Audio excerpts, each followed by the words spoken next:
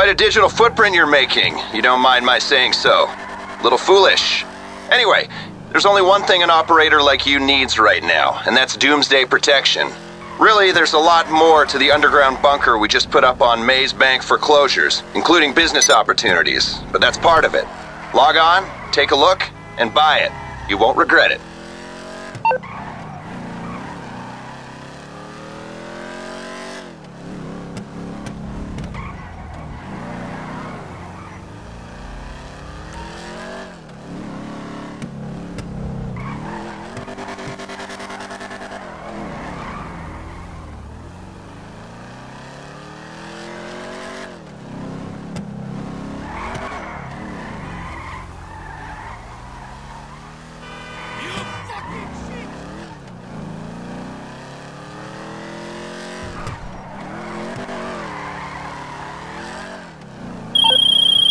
Hey, Paige Harris here. You and me should do this. It makes sense.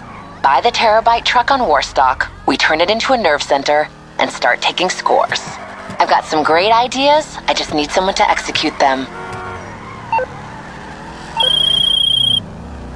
Uh, listen, uh, Tony Prince again? The Tony Prince? you know me. Maisonette 9, the nightclub Prince of Liberty City. Of course you know. Like I said, I need help.